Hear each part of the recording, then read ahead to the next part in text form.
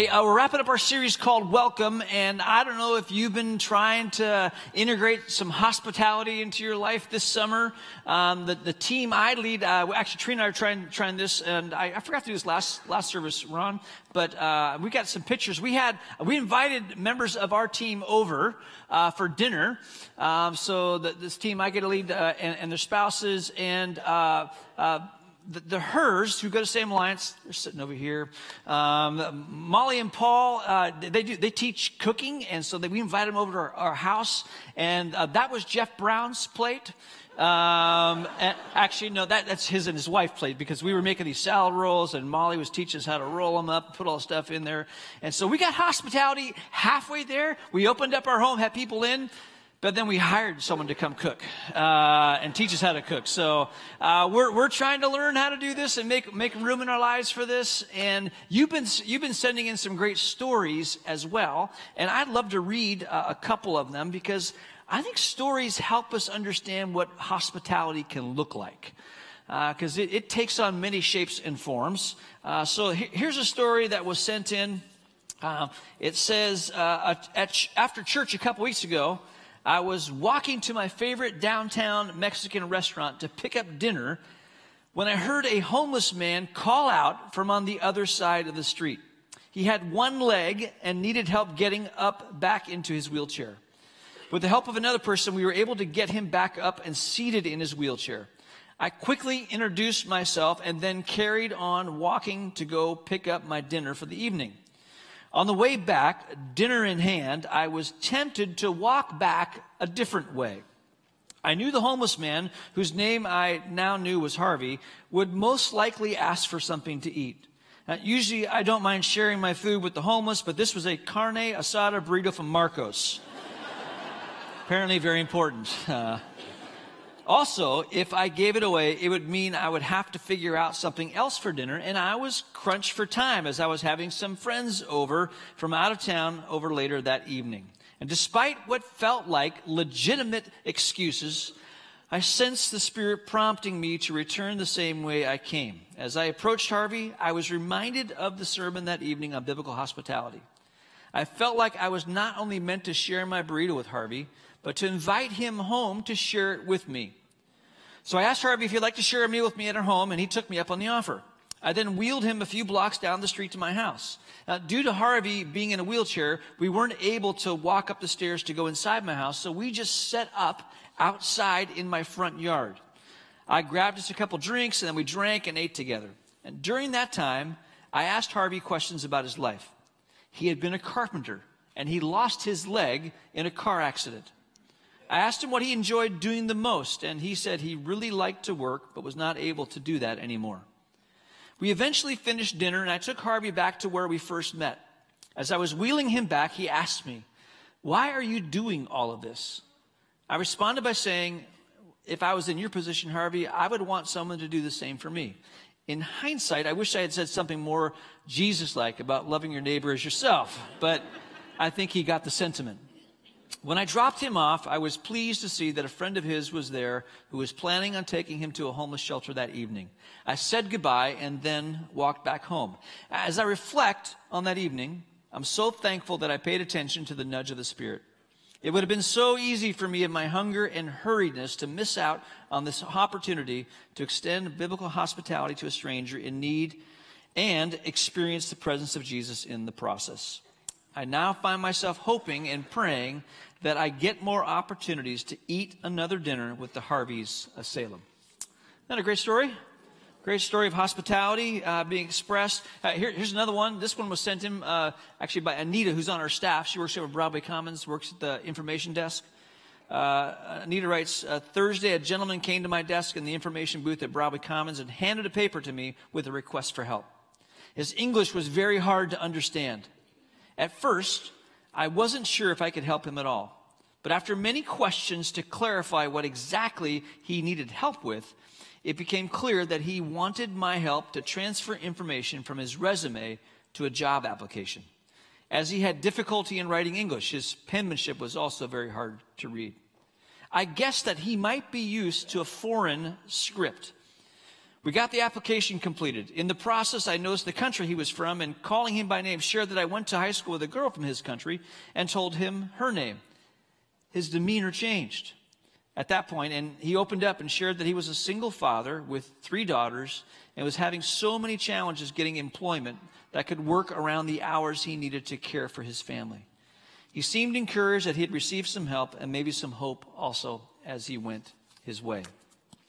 Uh, another great story of, of hospitality, uh, different form, different shape. But that last story actually is, is a great segue to where I want to go today. Because as we wrap up our series on hospitality, as we talk about welcome, and as I've been thinking about uh, how to wrap up this series, uh, it just dawned on me that but we, we cannot talk about hospitality. We can't talk about welcome and not talk about the topic of immigration. We, we can't talk about making space and loving, love the stranger without, without talking about uh, immigration and, and what's going on in our world. And immigration is a huge topic here in the U.S., but not only the U.S. It's a major conversation that's happening globally as millions of people have been uprooted from their homes for, for a variety of reasons and are fleeing, fleeing their nation or are, are being displaced in their nation and, and setting up new homes. And, and this conversation, it can be very divisive and emotions can run really high because the, the emotions are attached to it. There's a lot of fear. Uh, there, there, there's fear for, for those living in our country that are undocumented that they'll, that they'll be deported. There's fear from people who are living in this country, uh, who, who are documented, who are citizens, about who's coming into the country. Uh, there are people, there's a, these four freshman congresswomen who are, they're being referred to as the squad, and they've got their uh, ideology on, on, on, this whole topic of immigration in contrast to what our president's ideology is on this topic of, of immigration. There's sanctuary cities and sanctuary states and asylum, and, uh, and, and Republicans have an opinion and Democrats have an opinion. And if we're not careful, we're going to be discipled by Fox News and CNN and MSNBC or whatever news media you take that information in from. Because, because this is such an, a, a toxic conversation, we really need to start digging in and finding out what God has to say about this.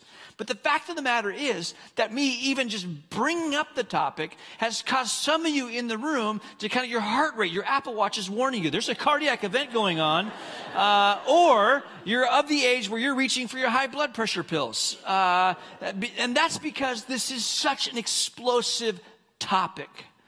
So I just want to tell you up front, as I've been working on this message, and I just want to warn you up front. Look, there's likely a time as I'm, as I'm doing this talk today that, that you may be offended by what I have to say. Now, let me, let me just tell you this. I want to say this. I have worked really hard this week to make sure that I offend everyone. So, if you get offended early on in, in this in the talk, just uh, just hang on because the other person's time's coming, okay? Or if you feel, like, yeah, go for it, go for it. Later on, you go, oh, no. now you're getting personal, Steve. Uh, but but but hang in there uh, on this. And uh, can I just say this?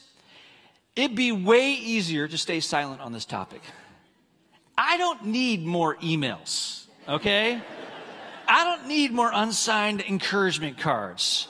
And, and, I'm fine with all that. In fact, it just works out so convenient that Trina and I are getting on a plane tomorrow and leaving the country. So this is perfect timing to talk about this topic um, as we go to a Middle East Field Forum.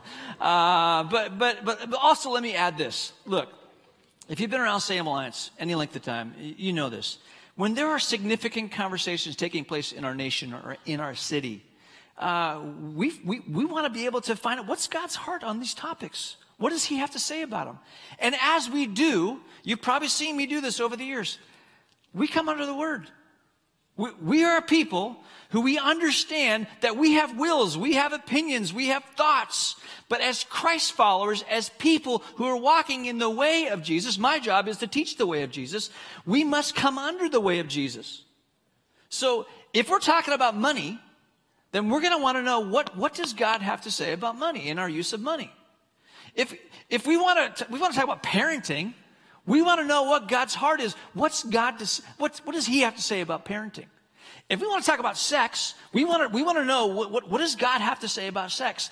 And so when it comes to the topic of immigration, we do the very same thing. We come under the word and we take our will and we surrender it to his will. That's what it means to be a follower of Christ. And so as we engage in the conversation on this topic, that's the very thing we are going to do. In fact, the Bible encourages us to do that. 2 Timothy chapter 3 verse 16 says, "All scripture is inspired by God and is useful to teach us what is true and make us realize what is wrong in our lives." It corrects us when we're wrong and teaches us to do what is right. God uses it to prepare and equip his people to do every good work. So, scripture is God breathed. We want to breathe his breath in on this topic and hear what he has to say. So, let me just dive in by saying this. I, you know, I, I grew up overseas.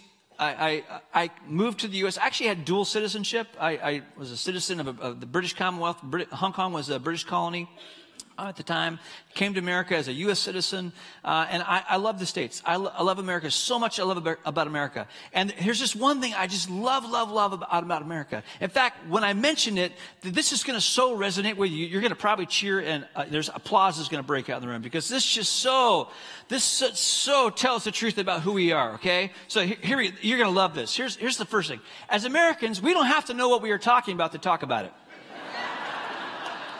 This is a great country. Isn't it a great country? Or another way you could put it is this way. You could, we don't have to have informed opinions to inform people of our opinions.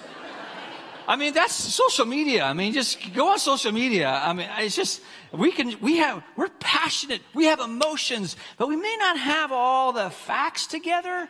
Um, but, but we can, we can come off like we do. So even as we engage in this conversation, let's just let's just kind of get a landscape of what's happening in our world and get and also when we talk about terms, who, who do we mean by these what do we mean by these certain terms so that we have a base from which we can uh, launch from.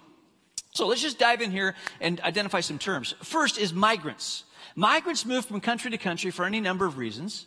It may be for a better life, job opportunities, leaving famine or drought stricken land or natural disasters. You've probably heard the term migrant workers. This is exactly what's, what's, going, what's going on. Uh, uh, immigrants. Immigrants, they've moved from one country to another and established residence. So it's a big difference from someone who's a migrant. And then we get to refugees. Refugees, these are folks who are fleeing their home due to war, racism, oppression, or religious persecution. They apply for refugee status and must be vetted prior to arriving in the U.S. The average refugee arriving in the United States has lived in a refugee camp for seven to ten years. So then that, would be very true. If you've ever uh, had a conversation with some of the refugees who are being resettled in Salem, our new neighbors, uh, that is very consistent with their experience. And then asylum seekers.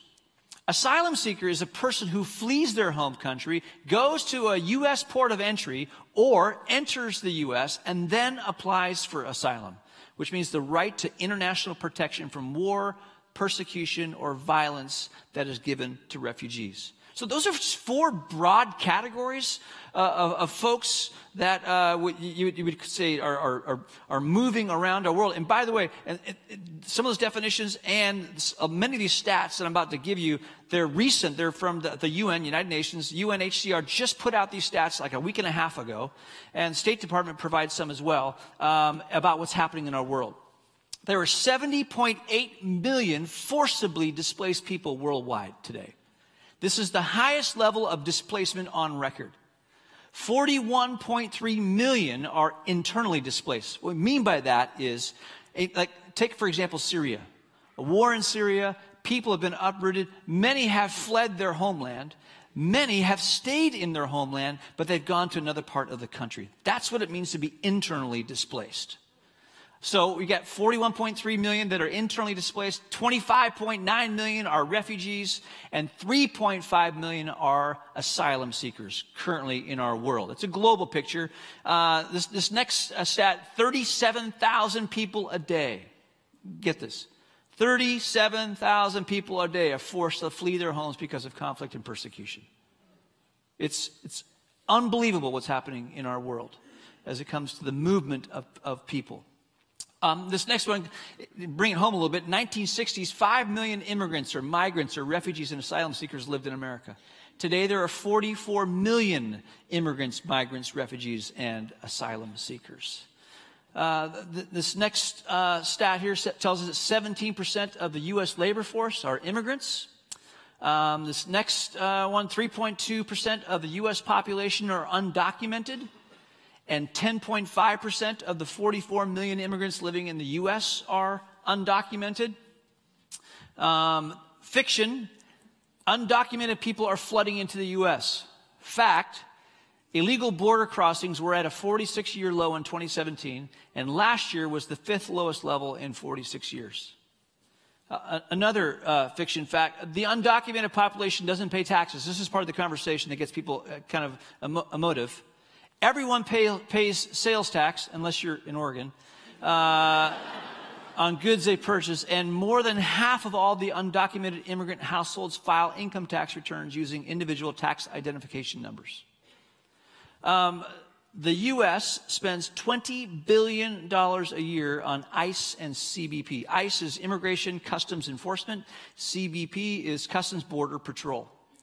That's more than the combined budgets of the FBI, the DEA, the Secret Service, and U.S. Marshals and ATF, uh, Alcohol, Tobacco, Firearms uh, Bureau. ICE and CBP has a total of 50,000 agents. That's just a, a little bit of what's happening globally, how it impacts us as a nation, and some of those stats go to just show us look, this is a huge topic, so much so that there's a lot of dollars directed at this topic. And the emotions run high because there's talks about detention centers and are they crowded or overcrowded? I mean, what the, what, what's, the, what's the care given there? Are children being separated from their parents? And if so, if so, I mean, which it, it, it is so, what, what, is, what is going on and, how, and how, how can that happen? And people are very, very concerned about this topic, but many people have no idea what to do. So the question that I, I want to place before us is, is simply is, what is God's heart on this topic? What, as Christ followers, people who are in the walking the way of Jesus, what's our response to this important conversation? And so, what I want to do is sort of set up for us uh, the, the, sides of this, uh, the dimensions of this, this debate uh, and, and focus pretty much on, it, on, the, on the Christian perspective of this, of this debate. And um, the, the first side of this conversation, really, uh, I'll just call it, we'll just put it over here. We'll, we'll I'll put this, this, this placard up here, Leviticus 19, as a representation of this conversation, conversation because Leviticus 19, uh, it, it says this. It says, do not take advantage of foreigners who live among you in your land. Treat them like native born Israelites and love them as you love yourself. Remember that you were once foreigners living in the land of Egypt. I am the Lord your God. So, a little context for Leviticus, because Leviticus is one of those books that some of you maybe got to chapter 2 on your, your yearly Bible reading. You loved Genesis, you loved Exodus, and you got to Leviticus and you thought, I'm out. Um, a little context for you, okay? Because God has rescued his people from Egypt, and these people don't know their God. So Leviticus is all these commands about this. See, kind of, the, if some of you are old enough remember the Dick and Jane books, it's kind of, the, it's kind of a, a primer, a ABC books. This, I'm giving you the first steps of how you can be in relationship with me. That's what Leviticus is all about. I want you to know me. And in this conversation, what we need to know about God is this that He has a huge heart. You can go back to that previous verse if you would, Ron. He has a huge heart for the foreigner. He says, Remember, you were a foreigner. Before I rescued you from you, that's who you were. And I had compassion on you. So I want you to have compassion on the foreigner in your midst.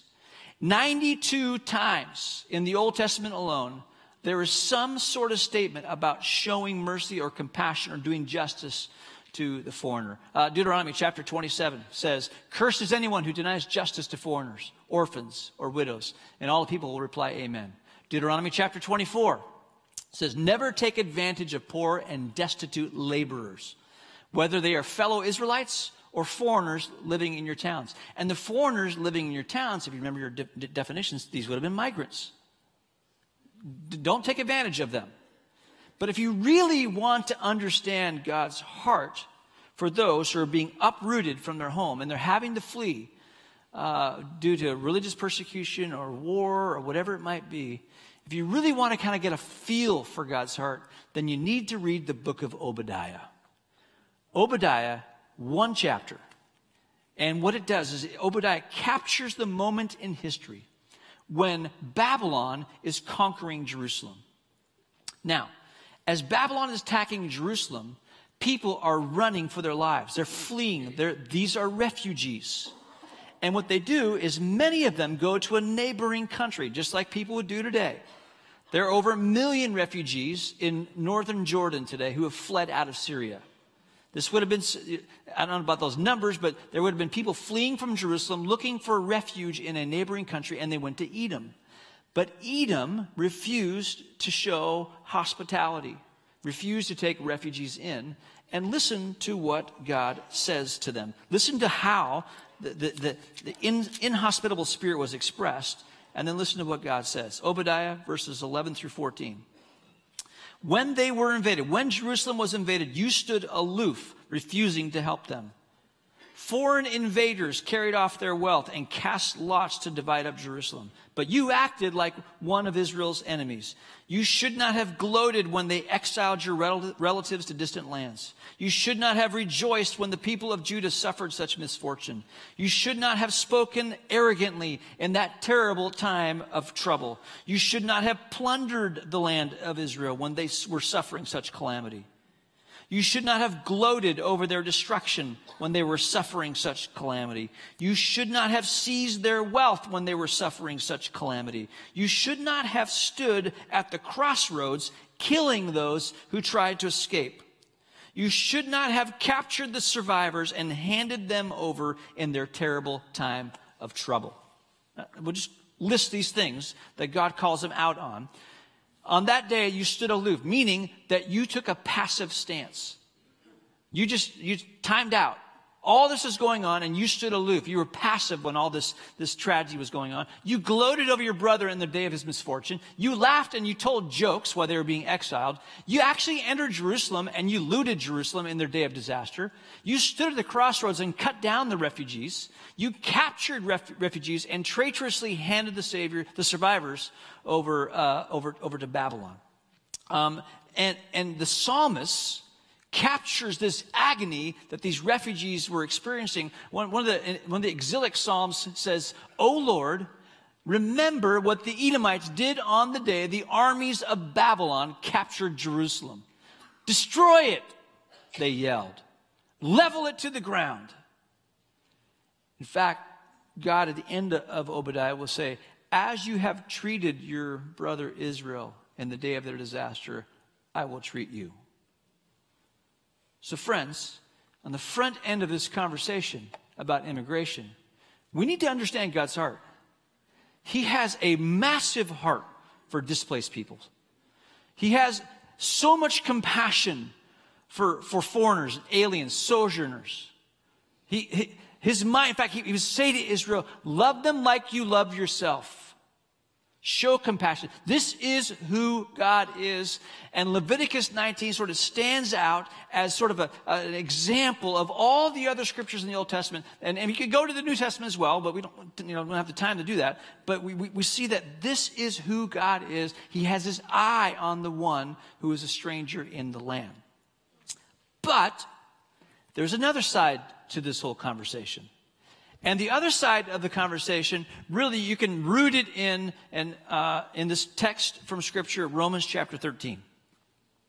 In fact, not too long ago, a previous U.S. Attorney General stood in the White House and opened a Bible and read from Romans chapter 13 as he began speaking about the topic of immigration.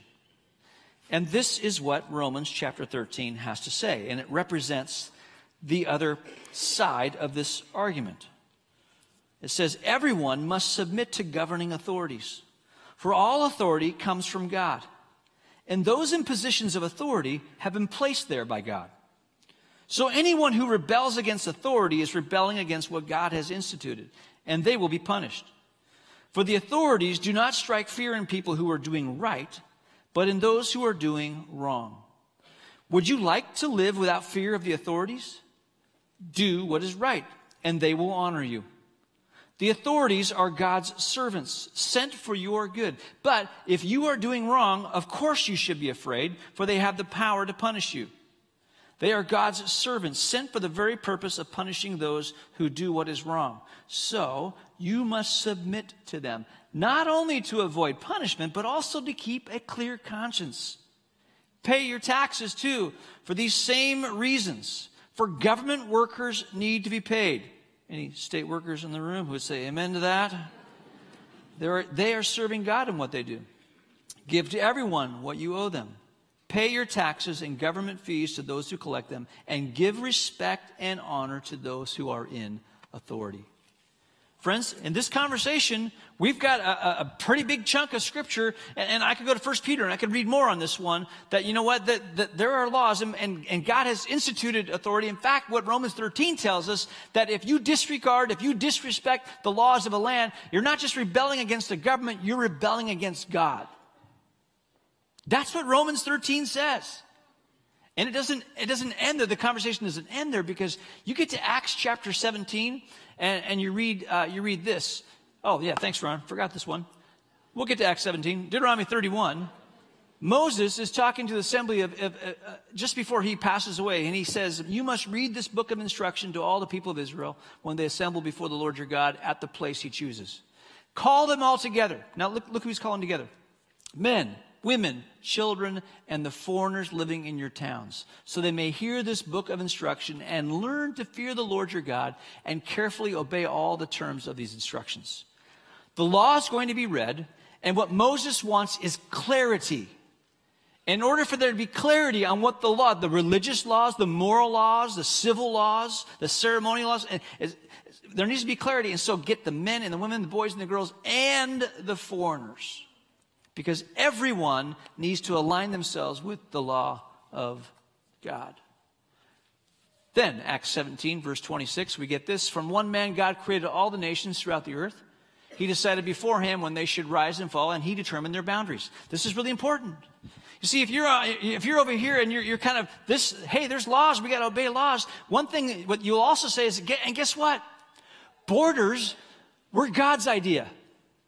He actually set the borders for nations. I mean, when the 12 tribes of Israel, he was the one who had the idea of 12 tribes. He was the one who set the borders in for the 12 tribes. And they've been ordained by God. And uh, borders need to be respected. In fact, some who, who would say, from this angle, they would say, look, look at Ezra and Nehemiah. They had to get paperwork before they would travel to another nation. And, and this, this side of, of, of, the argument is, is important to understand because it represents the structure that God has put in place, the government. And we're called to obey the government. Yet on this side, there's so much saying that God's heart for the immigrant, for the refugee, for the asylum seeker, for the migrant worker, that God's heart, God's heart's huge for them. And, and so, can you, can you feel the tension between both sides of this? There, there's tension there. And, um, and so, what do we do that? I mean, what do we do? I'm not telling you. I will tell you this we need wisdom and we need maturity to move forward and to walk this pathway. Because it feels like there are good points made on both sides of this debate. But let me say this. What do John Bunyan, Rosa Parks, Martin Luther King, Corrie Ten Boom and her family, and I could list other names, what do they all have in common?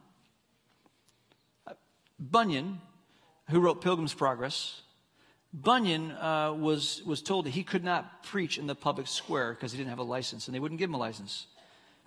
But he preached anyways, and he was thrown in prison. Rosa Parks, this moment that seems to have ignited the, the civil rights movement, Rosa Parks was seated on a bus and was told that she should move and make room for someone who was Caucasian, white. And she refused to move. She was a Christ follower. Martin Luther King, who started and, and, and led the civil rights movement, um, many times in peaceful marches defied orders to cease and desist. He, he paid for that movement with his life. I mean, I, I, we, could go on. In each in the Ten Boom family, they hid Jews in their home. You know, the, the, the famous book, The Hiding Place. They hid Jews in their homes, even though the law of the land was that all Jews should be deported to either death camps or work camps. In each and every case, they violated laws, they broke laws in what, in what they did. And there are heroes. Oh, you could go into scripture. You could talk about the Hebrew midwives in the book of Exodus, who were told by Pharaoh that if there's any Hebrew baby that's born, the little girls, they can live, but any little Hebrew baby boy needed to be put to death. And they defied that edict from Pharaoh. Shadrach, Meshach, and Abednego, what we studied in the book of Daniel in the fall, Shadrach, Meshach, and Abednego were government workers, and they were told to go to this plain. An idol was, was, was there, and when the music played, everyone was ordered to bow down at, at, the, at the expense of be a death penalty if you didn't. And they refused to bow, bow, bow down. They, they broke the law. Daniel, uh, there was an edict of this, the law of the Medes and Persians was given about there's no prayer that should happen unless it's to Darius, uh, the, the, you know, the leader of the day. And Daniel opens the shutters and faces Jerusalem and continues to pray. And he's thrown into the lion's den. Uh, there's these, uh, Jer- I mean, Jeremiah is told to stop prophesying these negative things about Jerusalem, and he's, he's thrown into a cistern. Uh, there's these couple of unschooled uh, disciples that are told to stop talking about Jesus, and their response is, we must obey God rather than man. And then there's this guy named Jesus, who seemed to consistently break the laws of the Sabbath as he healed the sick and as he freed the demonized. Friends, what what's common in all these these are our heroes. These are our biblical heroes and these are history's heroes. And why is that the case? And i think a principle emerges from these stories as we have this conversation about immigration. And the principle is this. So put it, put it up here uh, go to the next one there on if you would. Uh, the principle is this. When the law of the land is at odds with scripture the commands of God take priority. Friends, this is why, when it comes to the topic even of, of abortion, of, of, taking the life of an unborn child, those who believe in the sanctity of life get, get outraged at the fact that this is happening and want laws to change. And that is because there's this law, and it's in conflict with God's command. And what we discover and what we learn from the heroes of our faith, and even the heroes of history, is that when the laws of the land come into conflict with the laws of God, the laws of God always take priority. Yet, now, Augustine said this, one of the early church fathers, Augustine said, an unjust law is no law. Which, if you're not careful, can then produce anarchy. So Thomas Aquinas comes along and says something like this Aquinas says, The disobedience of unjust laws should only take place if the disobedience is less evil than the unjust law itself. It made total sense to you, I can tell. You, you guys are right with me. Here's what Aquinas is saying Aquinas is saying, Look, if you see a law that's in conflict with the law of God, you cannot violate the will of God to accomplish the will of God. You cannot create evil to conquer evil. So, for example, 2009, May 31, there's an abortion doctor who's working in a clinic, and a Christian walks into the clinic and shoots him, murders him. And people are like confused. And eh, because evil has been done, to stop evil. Now, uh, just mentioning that gets people's heads spinning, but yeah, but this is this evil's worse than that evil, and uh, we could go on that conversation all day long. Uh, but I'm getting on a plane tomorrow. But the point is this: on this topic of immigration, we have the heart of God and the commands of God, and we live in a land that has laws. and there's conflict. And so, what we need is wisdom in knowing how to move forward into the future, how to have this conversation without de- demonizing people or dehumanizing people, and seek justice. Now, a, a couple things as we wrap up. First thing I would say this whatever we do to move forward and however you feel conviction, here's the thing in this whole series hospitality must characterize our attitude toward immigration. Wherever you, whatever conviction you come to on this topic, whatever you, you, you hot, love of the stranger, just as you love a best friend or you love your family, that's the kind of love God asks us to express towards a stranger.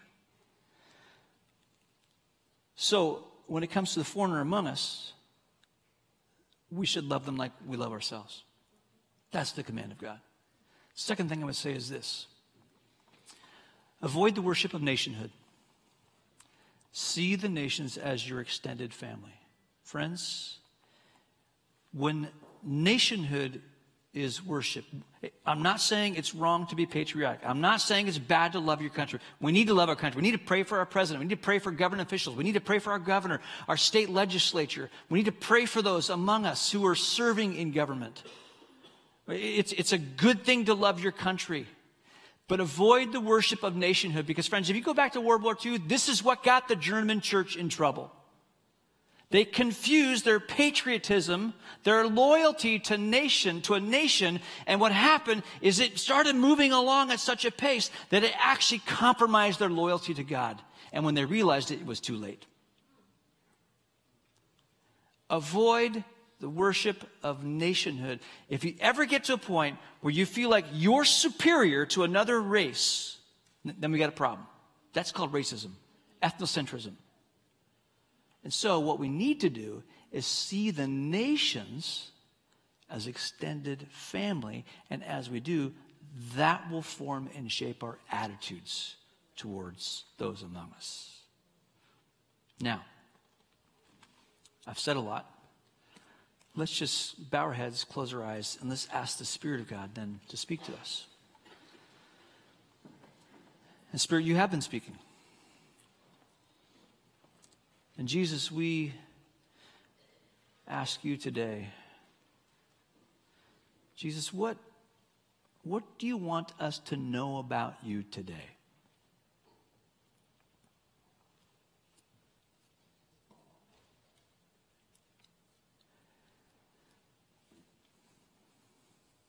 What's something you're revealing about who you are to us? And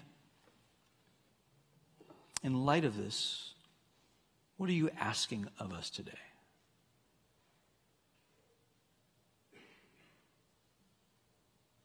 How are you asking us to respond? How are you asking us to align ourselves with your will today? Speak, Lord. Your servants are listening.